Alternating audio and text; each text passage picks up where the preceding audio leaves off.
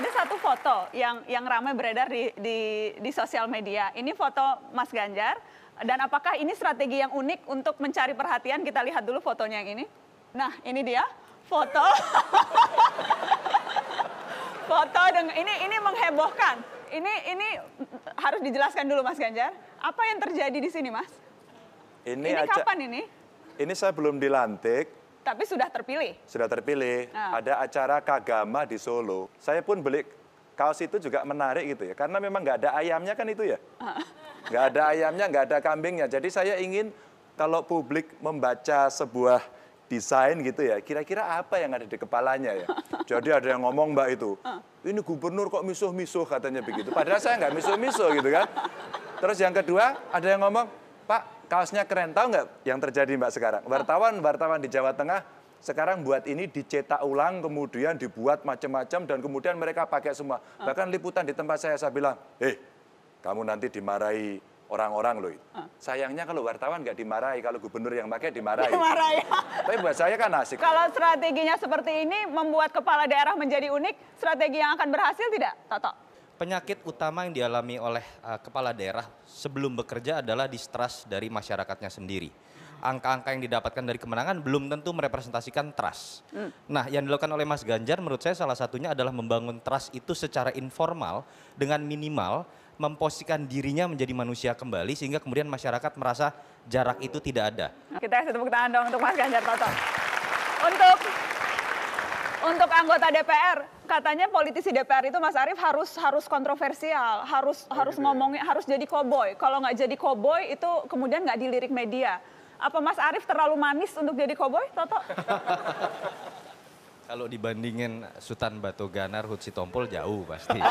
Tapi begini, beban menjadi eh, anggota legislatif kalau kita bicara angka dalam konteks survei terhadap persepsi publik itu jauh lebih berat. Jadi memang DPR ini selalu dianggap selangkah lebih mundur dibandingkan eksekutif. Jadi bebannya lebih berat. Jadi nasib ya. nasib. Yang ingin saya katakan, Mas Arief ini kita tahu latar belakangnya media. Ketika orang persepsi publiknya sangat buruk, ketika ada lembaga eh, persepsi publik sangat buruk, yang harus dilakukan pertama kali kan adalah mengkomunikasikan dirinya sendiri. Nah, saya berharap Mas Arief bisa memberikan inspirasi bukan hanya dalam konteks kepada konstituennya di Bandung misalnya, tapi dalam konteks kepada anak-anak muda, bagaimana kemudian menjadi inspirasi anggota DPR lain untuk menjadi simbol komunikasi. Sayangnya Mas Arief, saya harus terbuka nih Mas Arief. Misalnya, Mas Arief bikin website dong Mas, misalnya. Silahkan ditanggapi Mas Arief.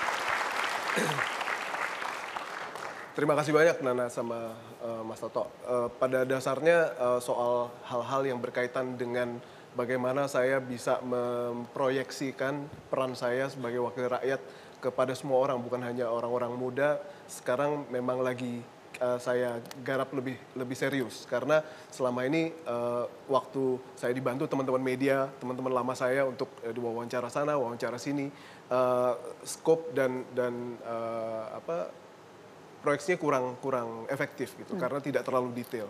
Nah, memang uh, website memang merupakan salah satu hal. Saya memang sudah saya punya blog untuk menyuarakan apa yang menjadi uh, aspirasi saya terhadap berbagai macam platform, tetapi memang website itu merupakan salah satu hal yang saya lagi garap sekarang dan itu uh, merupakan salah satu prioritas saya di masa sidang ini. Mbak Tejo, kasih mantra dong untuk dua orang ini. seperti yang dikatakan oleh Kresna, sekarang tugas Mata Najwa sebagai kocok Benggolo, yaitu kocok Wirangi. Apa hanya membuat orang yang memang berprestasi tampak di permukaan?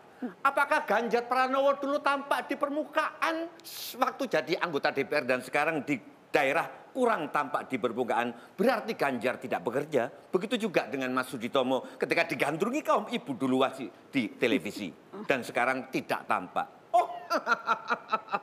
Minimal meskipun Ganjar Pranowo sekarang tidak ngetop segetop dulu, masih lebih ngetop dari lumpia Semarang.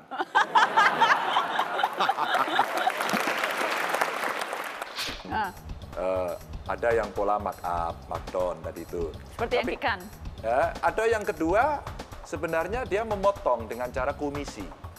Itu sebenarnya praktek-praktek yang terjadi.